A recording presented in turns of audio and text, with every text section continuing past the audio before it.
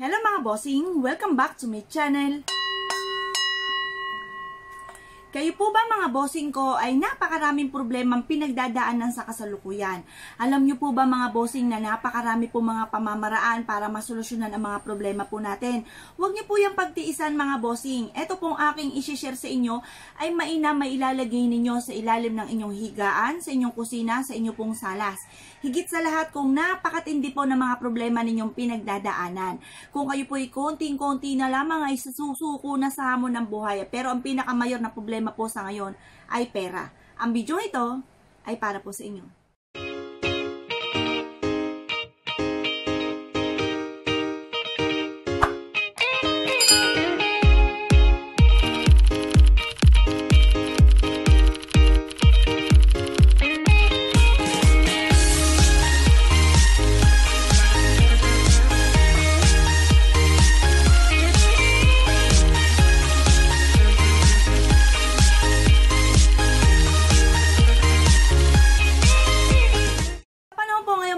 Bossing ko ay napakarami po mga problemang pinagdadaanan higit sa lahat tungkol po sa pera. Nako mga bossing, kung kayo po ay isa sa mga namumblema dyan dahil ngayon po ay nagdatingan ng mga bills ng ating mga bayarin at nakalalaki at hindi natin alam kung paano natin ito mababayaran.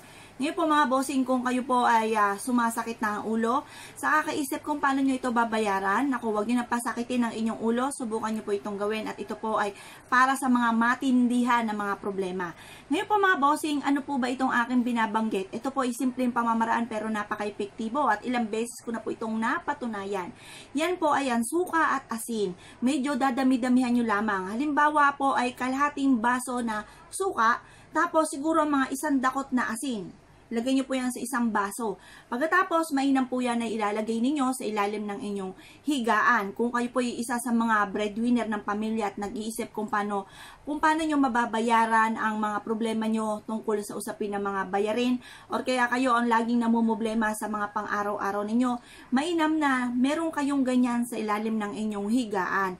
Basta wag nyo lang hahayaan na ito ay maiiga. Kapag yan po ay naiga mga bossing, instead na swerte, negatibo po yan. Kaya huwag niyo pong hayaan na maiiga po yung ating ah, suka at asin. Pangmatindihan po yung problema. Maina po mga bossing ay maglagay rin po tayo sa ating pong kusina at salas. Lalo-lalo na kung kayo po ay napapansin nyo na sobrang sobra-sobra na yung mga pagsubok na dumarating sa inyo na parang lagi na lamang kayong minamalas. Subukan nyo po yan. Kahit isang beses, sa loob ng isang ng isang linggo ay meron kayong ganito. Pero kung umabot ng isang linggo at hindi naman ito kumbaga tipo na natutuyo, okay po yan. Hanggang sa totally na na- kung napapansin nyo na konting-konti na lang ay maiiga, basta wag nyo lang hayaan na maiiga po ito, pwede pa po yan. Pagkatapos, pag po, ang pagpapalit naman po nito mga bossing, ay ah, ilalagay nyo lamang po ito sa, sa lababo kumbaga huhugasan nyo po siya, doon nyo po siya huhugasan sa lababo. Kasi kung ibubuhos siya sa aridoro, nandun pa rin pinaka-stain ng, ng asin at na may suka. Kaya kailangan ang paghuhugas sa lababo na lamang po ito. Hugasan nyo mabuti, tapos buksan si gripo, tayang makaagos ito sa malayo. Pagtas kumuha ka ng isang kutsarang suka para ma-stop na ang mga kamalasan doon na hinigop nitong ating suka at asin. Ngayon po mga bossing ay ma- mainam na minumungkahi ko po sa inyo kung first time yung gagawa ng ganito, lalagyan nyo yung ilalim ng higaan ng kung sino yung ah, kung sino yung breadwinner ng inyong pamilya. Pagkatapos, lalagyan nyo yung inyong kusina, lalagyan nyo yung inyong salas. Sa unang ano lang naman po to, sabakan. Pero sa susunod na sabakan, kahit doon na lang sa may breadwinner ng inyong pamilya, sa ilalim ng higaan, doon nyo po ilalagay. Ngayon po mga bossing, kung halimbawa wala namang il- ilalim ng matres ng inyong higaan at kutyo ng inilalatag sa sahig, di syempre hindi natin maaaring ilagay dyan, matatapon po yan. Sa likod na lamang po ng ating kwarto, ng, sa may pintuan, doon nyo po ilalagay para iwas tapon. Huwag na huwag nyo po itong hayaang matatapon ha. Kapag po ito'y natapon, kumuha kaya ng isang basahan, lagyan ito ng suka, pagtapos yun ng inyo pong ipampupunas.